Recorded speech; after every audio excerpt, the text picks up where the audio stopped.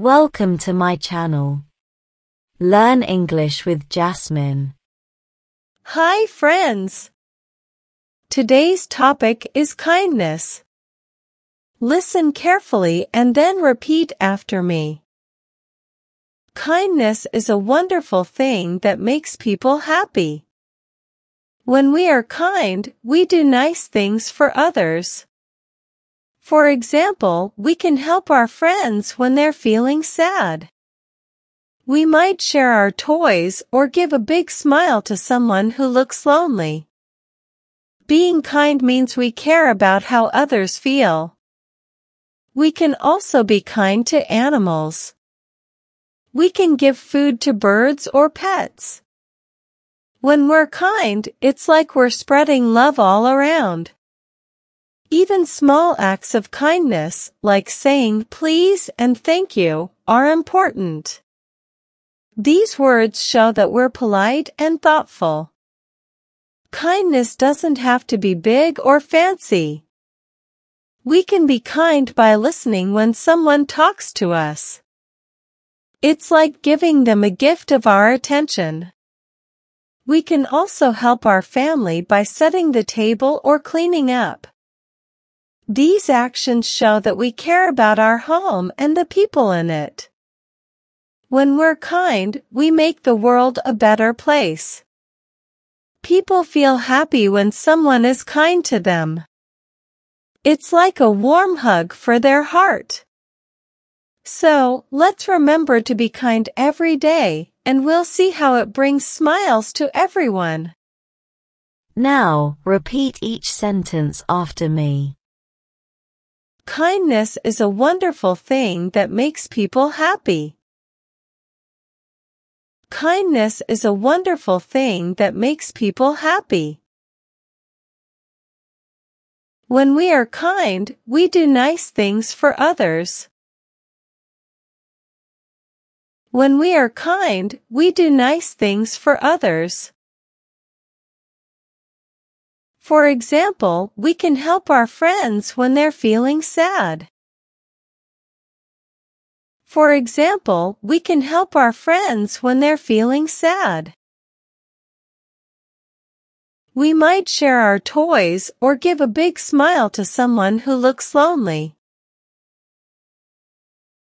We might share our toys or give a big smile to someone who looks lonely. Being kind means we care about how others feel. Being kind means we care about how others feel. We can also be kind to animals. We can also be kind to animals. We can give food to birds or pets. We can give food to birds or pets.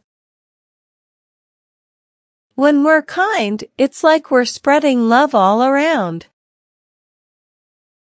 When we're kind, it's like we're spreading love all around. Even small acts of kindness, like saying please and thank you, are important. Even small acts of kindness, like saying please and thank you, are important. These words show that we're polite and thoughtful. These words show that we're polite and thoughtful. Kindness doesn't have to be big or fancy. Kindness doesn't have to be big or fancy. We can be kind by listening when someone talks to us. We can be kind by listening when someone talks to us. It's like giving them a gift of our attention. It's like giving them a gift of our attention. We can also help our family by setting the table or cleaning up. We can also help our family by setting the table or cleaning up. These actions show that we care about our home and the people in it. These actions show that we care about our home and the people in it. When we're kind, we make the world a better place. When we're kind, we make the world a better place. People feel happy when someone is kind to them. People feel happy when someone is kind to them. It's like a warm hug for their heart. It's like a warm hug for their heart. So, let's remember to be kind every day, and we'll see how it brings smiles to everyone. So, let's remember to be kind every day, and we'll see how it brings smiles to everyone. Now, it's time to practice your English. I will give some jumbled words and you have to arrange them, in a proper way, to make sentences. First question. Is kindness thing a wonderful? Answer. Kindness is a wonderful thing. Second question. Can, also, kind, we, animals, be, too? Answer. We can also be kind to animals. Third question.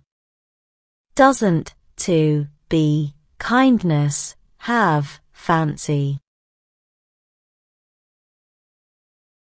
Answer. Kindness doesn't have to be fancy. Fourth question.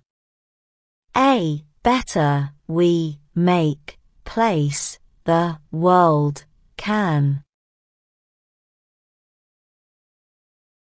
Answer. We can make the world a better place. Fifth question. Be kind every, remember, day, to. Answer. Remember to be kind every day. Now let's improve your English vocabulary. Having a good vocabulary makes you a better speaker in English. I will provide you synonyms of some words in the passage. Synonyms are words that have same meanings. Learn and memorize them.